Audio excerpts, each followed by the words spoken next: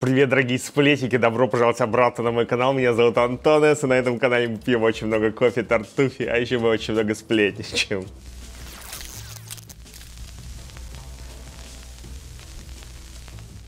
Спасибо огромное нашему постоянному спонсору Тартуфи. Переходите по первой ссылочке в описании. Закупайтесь качественными итальянскими продуктами. Стопроцентная арабика, роскошный кофе. Спасибо еще раз Тартуфи за вашу постоянную любовь и поддержку нашего комьюнити. Сел сегодня собирать информацию на сегодняшний выпуск. Смотрю, Собчак выявила почти трехчасовой выпуск интервью с Настей Евлеевой. Не понимаю я, ребят, когда такие гигантские выпуски. Три часа. Это как два полнометражных фильма. Ну реально, это был полный перебор. Хотя, опять же, посмотрел на одном дыхании. Нравится мне, когда Собчак не зажата, нравится мне, когда Собчак на расслабоне ведет интервью. Было интересно и эмоционально посмотреть, когда они прошли по дворам юности Собчак, по дворам юности Ивлеевой. Класс, очень классное интервью. Мне очень понравилось интервью, но, сказав все это, интервью-то было замечательное. И Собчак очень аккуратно пыталась вытащить из Ивлеевой то, что на поверхности для всех, но то, что вообще не видит Ивлеева. После сегодняшнего интервью с Ивлеевой Ивлеевой у Собчак. Я отписался от Ивлеевой. Настя, ты человек, который искренности ноль. Прошоренная акула. И это на самом деле замечательно. Если ты пытаешься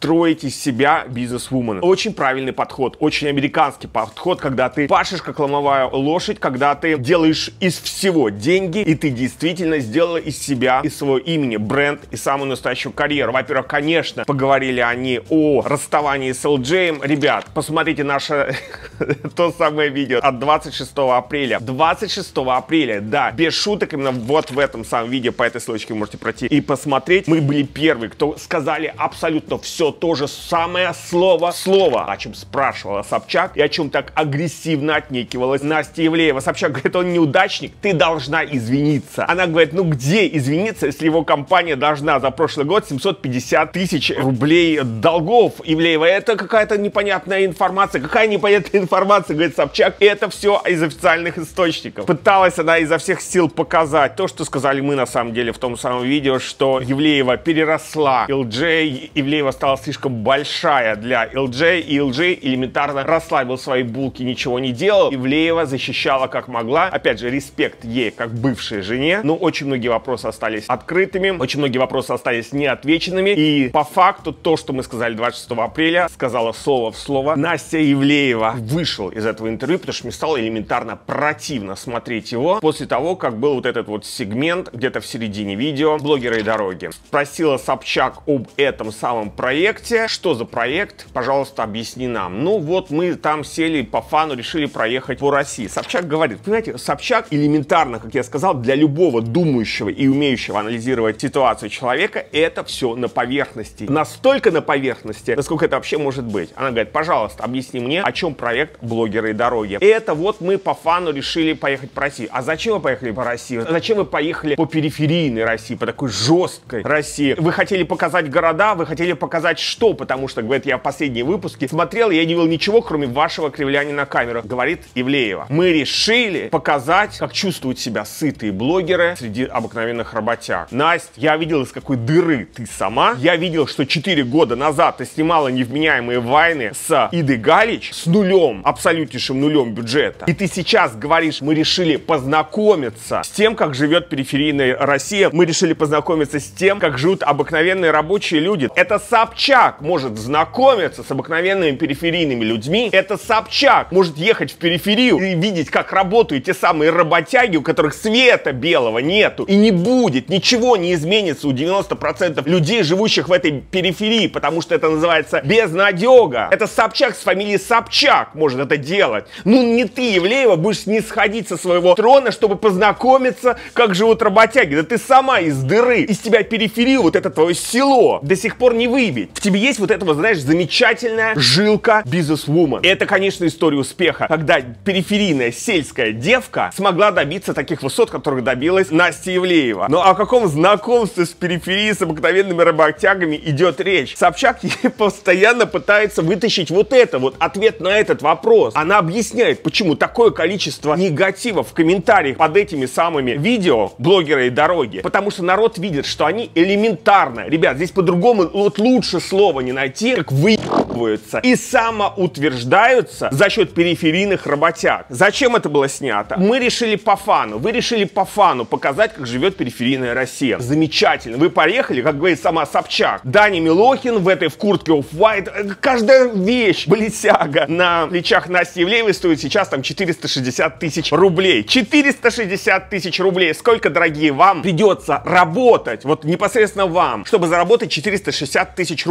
Сколько месяцев? А это один предмет из гардероба Насти Евлеевой. И вот Настя Евлеева, сама не отряхнувшаяся от этой самой периферии, не отряхнувшаяся от этой самой сельской дыры, самоутверждается. Знаете, кто такая Настя Евлеева? Это сломанный человек. Это человек, который до сих пор имеет те деньги, имеет те возможности, имеет те рекламные контракты, по факту всем пытается доказать, что жизнь удалась. Настя, смотри, у тебя жизнь удалась. Все все видят. Видят твои счета, видят, что ты Forbes. У тебя действительно все удалось в жизни. Хватит. Ты всем все доказала своими действиями и своими шагами в карьере. Когда Собчак говорит, ты читаешь вообще комментарии? Она говорит, не по. Это вот ее ответ на этот аргумент. Мне элементарно по... Настя, понимаешь, ненависть так тебе, вот именно ненависть, непонимание, потому что люди, которые тебя смотрят, они cannot relate, они не могут, я не знаю, как перевести это правильное слово, вот есть английские слова, которые великолепно описывают ситуацию, но эквивалента в русском нету. Они не могут понять себя, сытый голодного не разумеют. И ты сейчас говоришь, у нас не было никакой идеи блогеры дороги, мы решили поехать просто по фану, а когда нету сценария, когда нету никакой определенной цели в этом самом наборе видео, да, начинают проявляться ваши вот эти вот низменные комплексы. И ты, вместо того, чтобы показать Россию периферийную, жизнь работяг, которые будут работать на плащ от Баленсиага, я не знаю, три года, ты самоутверждаешься на фоне их. Ты элементарно самоутверждаешься, как пещерный, дремучий, зашоренный человек. И когда из тебя пытаются вытащить вот это вот зерно, ты говоришь, срать. Именно такое не прощают. Знаешь, не прощают не просто неискренность, Настя. Тебя кормят твои подписчики, тебя кормят твои подписки, понимаешь? Ты никто без тех людей, на которых тебе похуй, по твоим же словам. Я не стал смотреть дальше это самое интервью после вот этого сегмента блогеры и дороги. Ты отвратительно, Настя, ты элементарно отвратительно. Когда тебя пытаются как-то критиковать, моментально защита закрывается, жопа на- напрягается и сидит, пытается всем кому-то что-то доказать. Я знаю таких людей в реальной жизни. Отвратительные, потому что элементарно с ними невозможно выйти на какой-то откровенный разговор и, упаси боже, как сама сказала Собчак, как-то покритиковать. Собчак может себя вести так, как ты себя ведешь сейчас. Но она имеет право, потому что родилась в белой кости российской политики. Ты-то кто? Село неотесанное. Село неотесанное. Черт. Оль, пожалуйста, объясни нам, что здесь происходит. Когда я только познакомился с ее творчеством, девчонка с соседнего двора, крутая, заводная, с которой можно попить винчика, с которой можно хорошо провести время. Ух, сгусток периферийного комплекса, и который человек до сих пор самоутверждается за счет своих же людей. Те работяги, на фоне которых она что-то там пытается в своем плаще Баленсиага стоять, это твои люди, Настя. И никуда вот это вот село из тебя никогда не выбьешь. Ребят, классика жанра. Выгони бабу из села, село из этой бабы. Ты никогда не выйдешь. Вот, ну вот никакой вот ух. Это было просто мерзко. Это было просто жутко. Интересно, кто посмотрел ваше отношение к Насте Евлеевой, а к ее отношению к своим корням. Ох, как интересно послушать ваше мнение. Кто не посмотрел, обязательно оставляю ссылки на все видео, которые мы здесь обсуждаем. Интересно послушать ваше мнение. Давайте пообщаемся в комментариях. Не забывайте ставить лайки на это видео, не забывайте подписываться каждый божий день на этом видео. Иногда берем, конечно, день отпуска, но практически каждый божий день новые выпуски. Самое свежее, самое горячее, очень все с альтернативной позиции. У вас всегда есть возможность высказать свою точку зрения в комментариях. Давайте общаться, вступайте в ряды сплетников. У нас здесь самое настоящее жарище. Кстати, кто не знает, по этой ссылочке можете пройти и посмотреть. У меня есть мой основной канал. Кому интересна моя жизнь не в концепте сплетен, кому интересна моя достаточно скромная и наверняка такая депрессивная жизнь. Но сейчас у меня такой период. Переходите по той самой ссылочке. Подписывайтесь на мой основной канал. Кстати, каждую субботу выкладываю вот новый влог. По этой ссылочке можете пойти и посмотреть этот самый влог. Каждую субботу стараюсь выкладывать влог о своей жизни. Поэтому, если вам интересна моя жизнь, подписывайтесь. У нас там тоже очень интересно. Пожалуйста, вам предполагаемый возлюбленный Ксении Бородины полностью отказывается от знакомства с ней и комментирует, что романа никакого нету. Ставит, значит, Гриша Эрик э, в своем инстаграме Бородина, Бородина, Бородина, Бородина. Я с ней даже не знаком, но мечтаю с ней познакомиться. Возможно, в этой жизни это сбудется. Пока это иллюзия. Вообще, русский там, конечно, вышел давно из чата. Танцевала вместе с ним она, поэтому все, он элементарно врет. Мне интересно, почему он врет, потому что присылает мне пташка, вот, кстати, мой инстаграм, директор для любой информации подписывайтесь и присылайте мне любую информацию. Вы всегда останетесь анонимными, а мы будем вам очень благодарны за предоставленную информацию. Антон, здрасте, пожалуйста, анонимно. Хотел рассказать про ваш выпуск про нового парня Бородиной, Гриша Эрик. Так вот, он сын очень-очень-очень богатого бизнесмена, инфа 100%. Я спрашиваю, какого бизнесмена, как зовут этого самого бизнесмена? Мне говорит Ташка, зовут этого бизнесмена Артак Товмасян. Я не знаю, что за Артак Товмасян, но, видимо, действительно какие-то бабки там нереальные. И я не знаю, по какой причине сейчас Гриша Эрик отказывается от знакомства с Бородиной. Может быть, если папка узнает, что он с такой куском негатива связал свою жизнь, может быть, папка и отрубит от кормушки, потому что все крутые тачки в инсте Гриши, прости господи, Эрика, или как там его звать, тачки друзей, на нем ничего нету, какие-то компании совершенно провальные, долги по всем фронтам. Ну, дитё пытается, видимо, как-то самоутвердиться и стать крупным бизнесменом. Ну, папка, видимо, дает бабки. И на этом Гриша Эрик и зиждется. И вот сейчас отказывается он от знакомства с Бородиной. Может быть, они, конечно, пытаются сейчас сделать вот этот вот нелепый, никому не интересный пиар. Не знаю, к чему это все приведет, но по факту. Артактов Масян, интересно, что за дядечка, откуда бабки. Давайте пообщаемся в комментариях. Будем наблюдать за всем за этим. Но пока на данный момент он отказывается от знакомства. Хотя я тоже, наверное, если выпил бы пиваса с Бородиной, я бы тоже отказывался, что это вообще имело место быть, потому что с такой тетей связавшись, я так понимаю, она даже старше его, удар по твоей репутации. Человек до сих пор всю жизнь на общественном глазу, всю жизнь она обсуждаемая публичная персона. Зайдите в комментарии, там трэш. До сих пор, до сегодняшнего дня пытается самоутвердиться за счет своих подписчиков. До сегодняшнего дня срач. В комментариях вы меня не понимаете, я вас сама... О, боже мой. Таких людей тоже знаю. В реальной жизни это невозможные люди. Это сгусток ходячего негатива. Вот такая бородина почитайте комментарии. Ух, я не знаю, кто вообще на нее подписан, чего ради, потому что такой негатив. И знаете, и так жизнь тяжелая, а еще вот такое вот, какая-то самоутверждающаяся тетя в своем инстаграмчике строчит что-то своими пальчиками. Отвратительно, Бородина, ты отвратительно. И ты не меняешься, ты не учишь урок. Сколько тебе можно доказывать, что ты что-то делаешь неправильно, ты живешь вот на своей волне, я всех ненавижу, вы меня не понимаете. Ох, всем давно смешно. И знаешь, подписано не потому, что ты вдохновляешь, а потому что ты смешна как клоун. Ты тетя клоун, официально клоун, да, истеричный такой. И каждый раз интересно, смешно вот так вот тыкать такого клоуна палкой, чтобы посмотреть на очередное извержение горящего пукана. Вот как это называется, дорогая моя Бородина.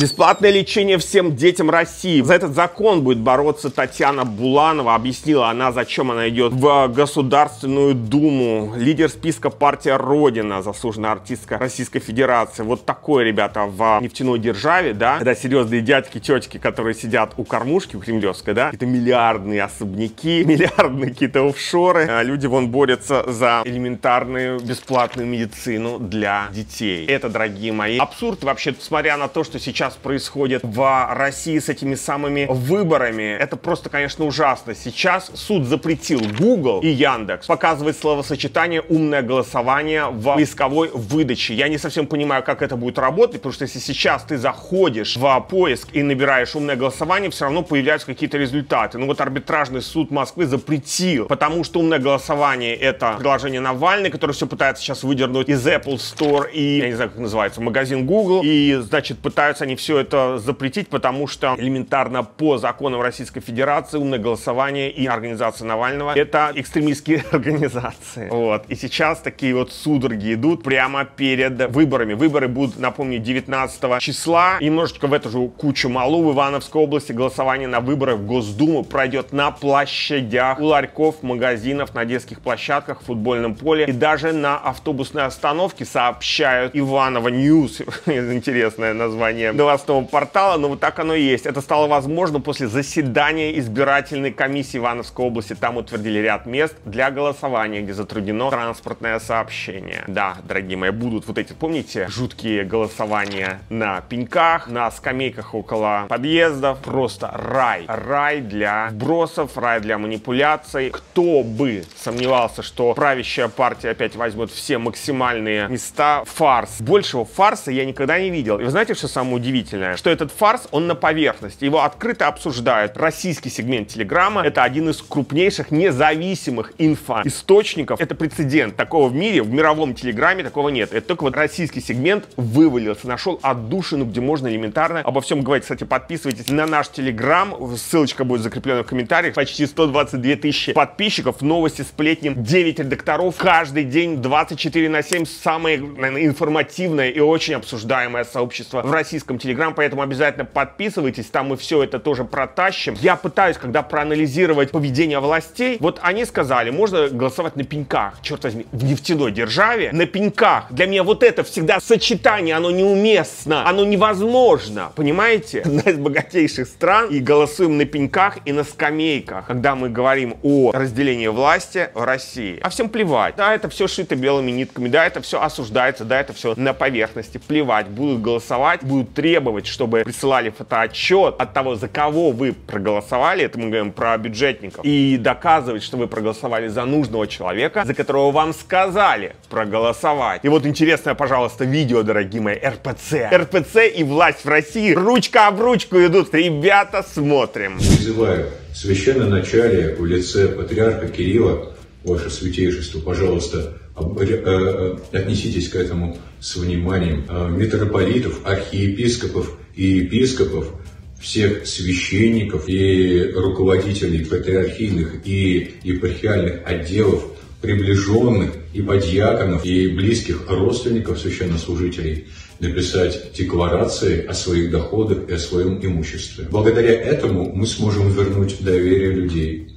Благодаря этому мы сможем препобедить проблему, которая есть в нашей церкви. Это коррупция, и она есть несомненно, и все мы об этом знаем. И благодаря этому мы станем крепче, искренне и надежнее. Священник Русской Православной Церкви призвал патриарха Кирилла раскрыть свои доходы. Такое видео обращение записал священнослужитель из Чувашии Роман Степанов. По его словам, значит, РПЦ должна перестать быть закрытой организацией, в которой затемняется, замалчивается и забалтывается беззаконие и злоупотребление. Реакции Московской Патриархии, конечно, пока не последовало. Я думаю, они сейчас элементарно замнут это все, поэтому я считаю, что очень важно об этом говорить громко и безапелляционно, потому что откуда те майбахи, откуда те яхты у Русской Православной Церкви, ребят, откуда то просто купание в золоте в прямом понимании этого слова. У Российской Православной Церкви откуда часы на руках патриарха? Напомню, Папа Римский, я не буду здесь обелять Папа Римского, но Папа Римский ходит часами за 50 евро на своем запястье. Дедушка патриарх Кирилл, он ходит в часах там за какие-то 80 тысяч евро. Откуда такие деньги у Русской Православной Церкви? Это одно. А второе, я думаю, нужно очень сильно обсуждать эту всю тему, потому что Роман Степанов из Чуваши, его сейчас просто в лес отвезут. Понимаете? Его в лес отвезут. А потребовал он что? Пожалуйста, раскройте доходы, раскройте, что вы там имеете. Вы думаете, раскроет РПЦ свои доходы? Вы думаете, раскроют они свои налоговые вот эти вот, что там по недвижке, что там по часам, что там по яхтам и по майбахам? Думаете, РПЦ это все раскроет? Пацана, считай, нет. Поэтому я считаю, только общественная огласка должна как-то вытянуть это все, потому что это беспредел. Воровство идет повальное. Вы вообще слышите, что происходит, дорогие мои сплетники и сплетницы?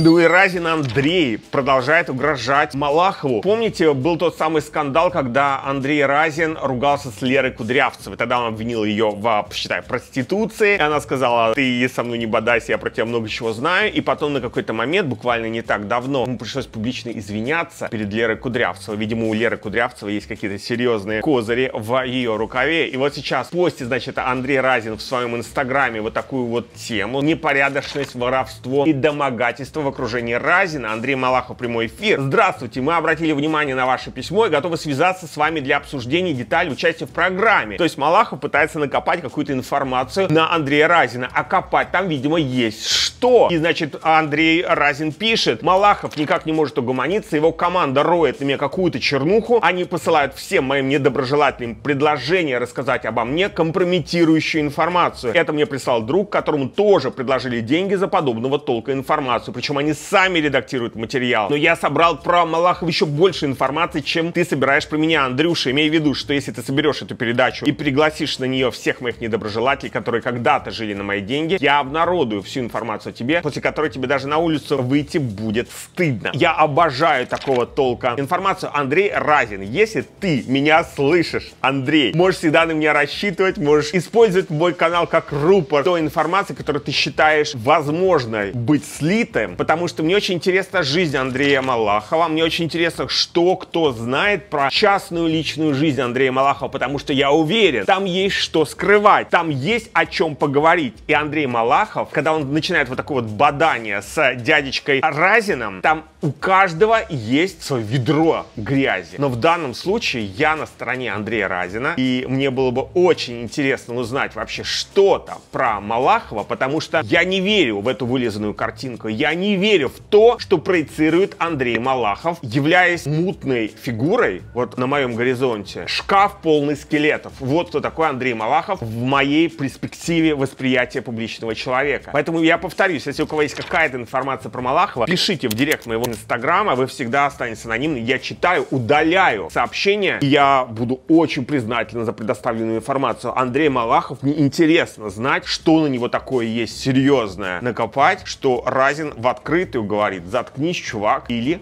пожалеешь. То, что знает, давайте пообщаемся в комментариях. Мне прямо интересно смотреть на такие публичные срачи.